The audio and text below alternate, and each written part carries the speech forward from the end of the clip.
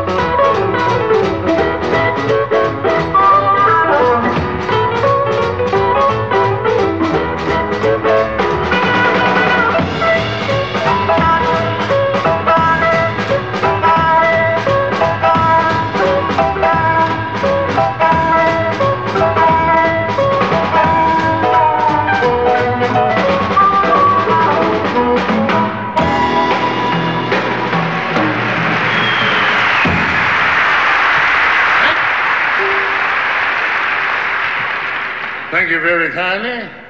At this time, we're going to present a fellow that had the blues and sing them the way you feel. Shaky Horton on the harmonica.